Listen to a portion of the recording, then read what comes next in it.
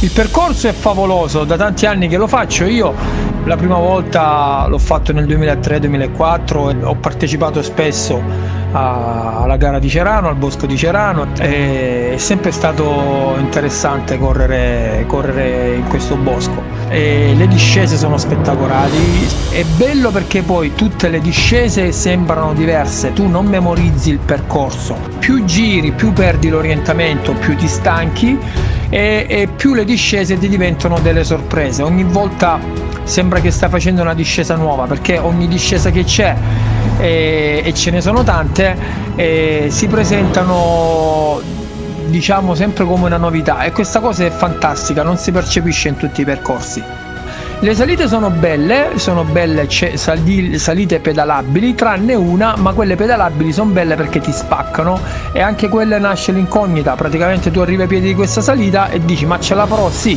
se ti concentri, assumi una buona posizione di, di in sella, di guida, riesci a sprigionare la, la forza e, e, a salire. Quindi tranne una, quella che non si saliva, che non si saliva, che si, c'era il tratto a piedi, ma anche quella è fantastica, non bisogna toglierla è bello anche fare il tratto a piedi perché anche alle gare di campionato del mondo ci sono dei tratti a piedi e guai se non ci fossero i tratti a piedi perché eh, significa che l'essere umano deve spingere, deve saper salire eh, talmente bene, talmente forte che c'è qualcosa di più grosso di lui. Quindi eh, se qualcuno non è salito eh, nasce la sfida per migliorare negli anni eh, per cercare di migliorare la, la, la bicicletta, la postura, la, la, spinta eccetera, il peso de, del ciclista eccetera eccetera.